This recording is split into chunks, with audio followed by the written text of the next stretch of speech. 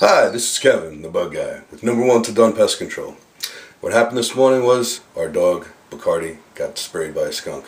Second time this week. This time, though, I found out where he lives, under our deck. So, if you can see our dog right here, poor guy, got hit, and he wants to come in, but there's no way we're going to let him in. What we have to do is get the, the skunk smell away from him. And doing that will be the beautiful Mrs. Bug Guy. Hello, my name is Kathy and I am Mrs. Bug Guy and I'm going to give you a really quick, easy way to de-skunk your animals, your dogs. You can try it on a cat, good luck with that, but it's real simple, easy recipe. We're going to do a double batch um, because he got hit pretty strong. We're going to take a half a cup of baking soda, regular baking soda like you have in your home. Pop that in a container. Now you want two teaspoons of liquid detergent because remember we're doing a double batch of this. So one and two.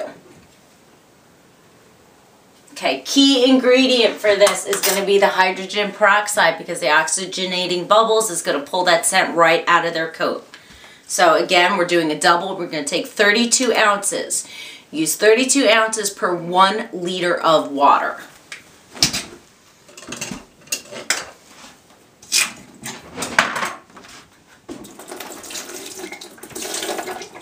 I'm going to add that all together.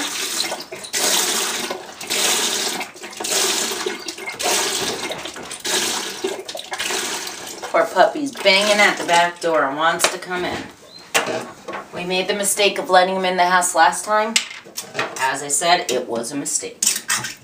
So this time we smartened up. Alright, so this is our second. Now what we're going to do is we're going to take warm water from your tap.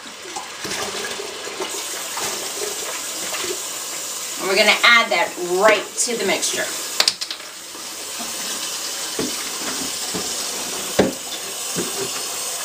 It is a little bit of a chilly morning, so we kind of want to make it a little warmer so he's not miserable out there.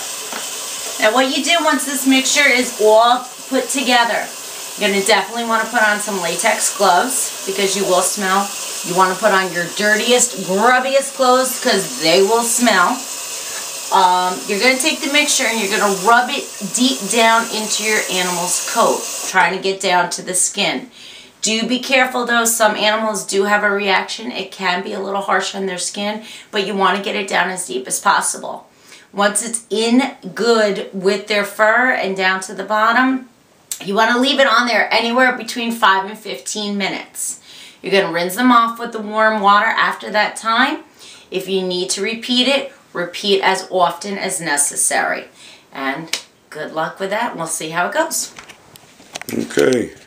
So we're going to go ahead and take care of this, and then we'll uh, get back to you and let you know. Thank y'all.